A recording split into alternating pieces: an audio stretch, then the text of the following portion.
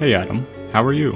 Hey Joey, not too bad. How are you? Herbert, how's it going? I'm good. How you doing, Joey? I'm good. Could you help me with something? Absolutely, I'd love to help you. Gurbani, how did you meet Christian? So I met Christian a couple of years ago when he was the bylaw chair and I was the VP external at the ISA. And I've seen him progress in his governance career as he got elected as SUVP external. I've known Christian for around seven years now. I've known him because we went to the same high school and then moving on to university, we had a plethora of classes together. And it's just over these few years, we've been able to grow a fulfilling friendship, and him and I go way back. What was your first impression of Christian? Uh, it became very obvious that he had such a uh, sort of worldly perspective about things.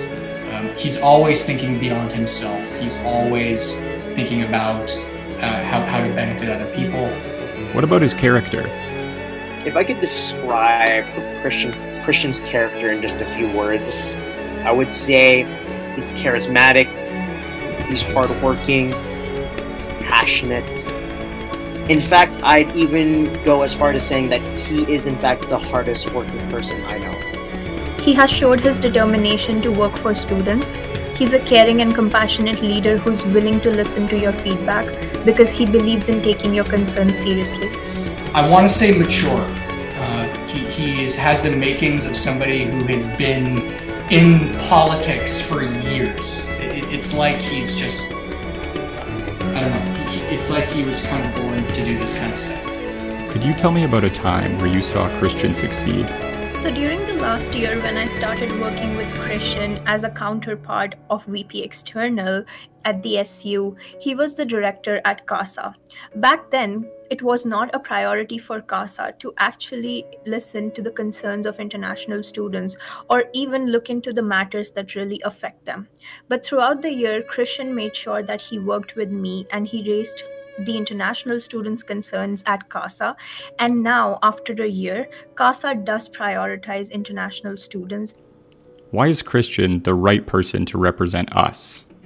If you look at the wins and successes he's done in just this term alone, he's been able to achieve so much. I like the biggest part that I like about him is that he's willing to listen.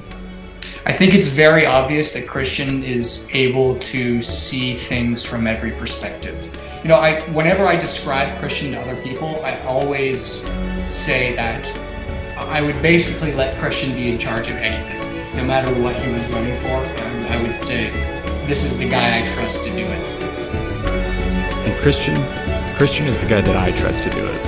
And I encourage you to vote Fotang. Because Fotang just got started. And Fotang? Fotang's not finished.